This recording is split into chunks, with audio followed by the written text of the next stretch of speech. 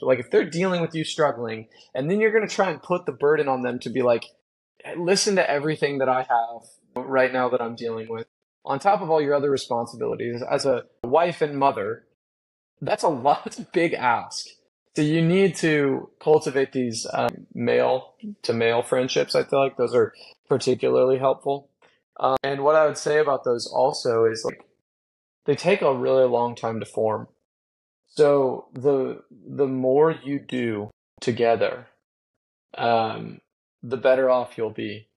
And my recommendations would be have people over to your house to for you know beers or drinks. Go or go get an appetizer you know with a friend after the kid's gone to sleep. You know like you're you're you know just do it. Um go find some activity